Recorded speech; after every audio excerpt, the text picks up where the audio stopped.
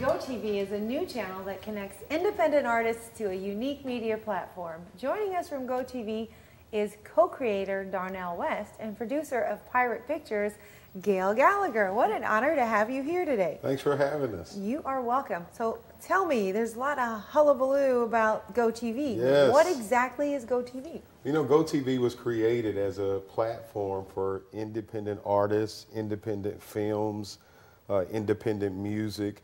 And uh, we just kind of noticed a need out there and a, a gap for creatives not to be censored, but also to have a platform that they could get the work that they're really spending their lifetime developing uh, to the city. Because so St. Louis is so rich with content.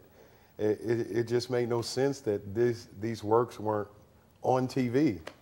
You're a producer. So I am. tell me how vital it is that something like GoTV has come along. Well, like Darnell was saying, I don't think people realize how much film production is actually happening here in St. Louis. This past week, there was a, a week long festival of all St. Louis films. And that's really amazing and it's great because you get to see your movie on the big screen, but it's a limited audience. Where with GoTV, we're able to reach so many more people and people that might not necessarily make a trip out to the movie theater to go see a film but would catch it on television and then we reach those those people you know just the wider audience it's amazing Okay, Darnell, what was the brainchild? How did GoTV come to be in existence? Well, you know, we kept running into people that uh, that were just doing some amazing things, and we were like, "Wow, this is amazing. Where is it?" And the only answer that we kept hearing was YouTube. Well, while YouTube is a great platform, uh, there are other platforms, and, and of course, we believe GoT is that you know that platform for independent uh, independents or creatives in our city. And uh, again, uh, St. Louis is rich with independent material, and we are that platform to get that material out to the city. And uh, not only the city, I mean, we're, we're expanding all the time. We have a guy right now in Dallas getting ready to, you know, get on ground in Dallas to launch some things there. And so we're, I mean, we're just wanting to get everything that's going on here in this city out, you know, to the people in this city and beyond this city. Why do we need to do that? Why do we need to do it?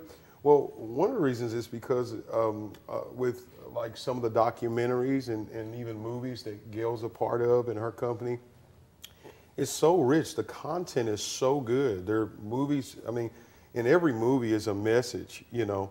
And so uh, whether that message is reconciliation, whatever that is, it's just incredible to have uh, these messages going out. Oh, who's this on the screen here? That's Dan.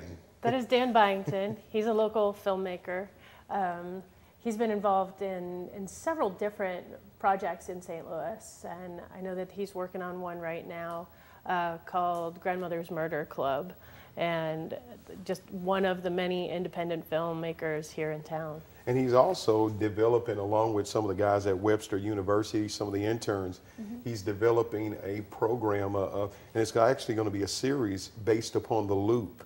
And so it's going to be talking about all the things, the businesses, and all of the fun that's going on in the loop. And uh, which is, of course, everybody in St. Louis loves the loop. You know, So, Gayle, what has it meant to you to be able to connect with GoTV? Well, along with being a, a producer myself, I'm also distributing other films. And to have yet another outlet outside of YouTube where we can get our films shown, reach the audiences that, that are out there, and really share, like Darnell said, there's so many films out here that have these messages that, that are really important. I've just watched about a dozen documentaries last week as part of the international, as part of the, the filmmaker showcase, and there's such powerful filmmaking going on here in St. Louis. And I love the fact that these films will, will get to live on, that it's not just, oh, great, you made a movie that's sitting on your mother's shelf and she's very proud of you, but that, that other people will be able to see these films. All right, well, we have to take a quick break, but when we come back, we're going to talk more, all right? We have more with GoTV after this. Stay with us.